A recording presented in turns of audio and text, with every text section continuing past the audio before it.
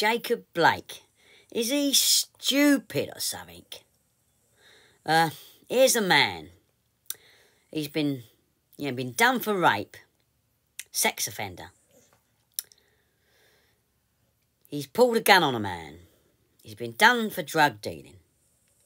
So the police uh, uh, get, go to an incident and they, they say to him to tell him to stop.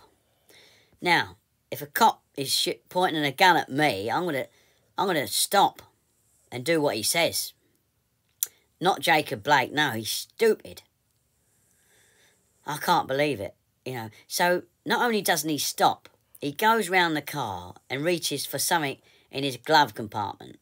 Now, how do the police know that he's not got a gun? He's going to pull a gun.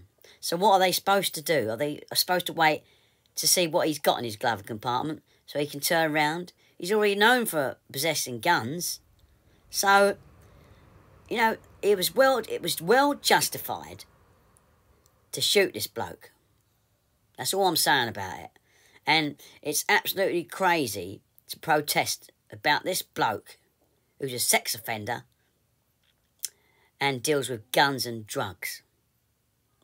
The fact that he had his kids in the car wasn't a very nice thing, I must admit.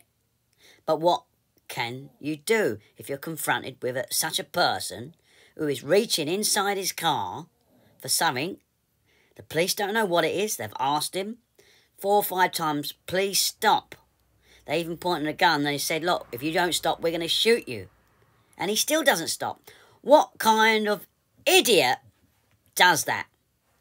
Well, it's his own fault.